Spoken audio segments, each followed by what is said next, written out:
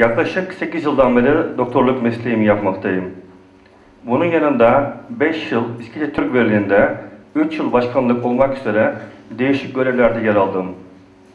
Aynı zamanda İskeçe'nin İnanlı Belediyesi'nde iki dönemdir il belediye meclis üyesiyim. Bugüne kadar elimden geldiğince azınlığımızın çizgisinde olmaya çalıştım. İskeçe ilinde, İskeçe Belediyesi'nde bağımsız listenin kuruluş çalışmalarında yer aldım. Şu anda milletvekili adayım.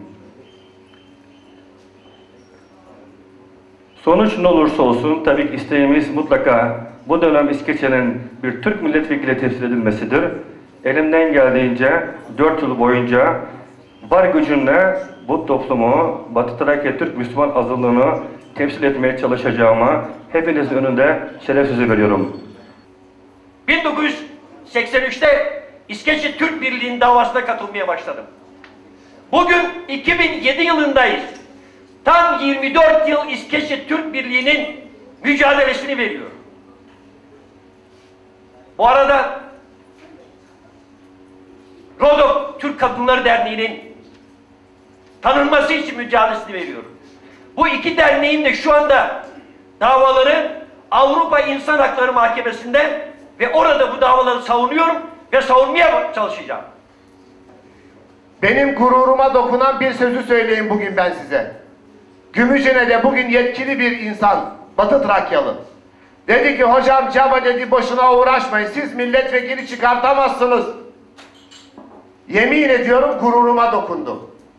Ve dedim ki yahu bu kadar mı çözdüler bizi? Yetmiyor gavurlar çözdü bizim gavurlar da çözdü. Milletvekilleri çıkarmamak için daha ilk günden Kontoz'un veyahut da Guridiz'in çanaklığını yapmaya başlamış. Bu çanaklıktan vazgeçmemiz lazım. Türk olsun da isterse çamurdan olsun.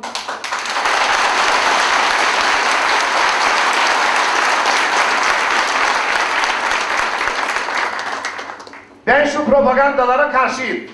Orhan Hacı İbrahim şunları yapamamıştır. Çetin Mandacı şunu yapamamıştır. Veya Ahmet Mehmet şunu yapamamıştır. Peki sana Hristiyan olan senin karşında düşman gibi duran insan ne yapmıştır? Onun için bunu yıkmak gerekmektedir. Yıkmak için hareket etmemiz lazım. Önce birliğimizi muhafaza etmemiz lazım. Türk'ün Türk'ten başka dostu yoktur bilmek lazım. Bunu böyle anlatmak ve uygulamak lazım.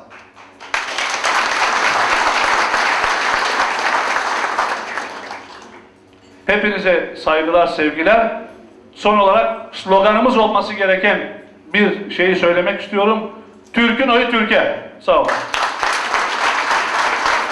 2004 seçimlerine kadar alın 1974'ten 2004'e kadar 30 yıl. Bakın İskeçe Azınlık Türk'ünün oy dağıtım çizelgesine. Her zaman 30 bin oyumuz almış tepek takla aşağı gidiyor. Ve zirveye ulaştık 2000 yılında. 12 bin oy kaldı yalnız Türk azınlık seçmenine, azınlık adaylarına.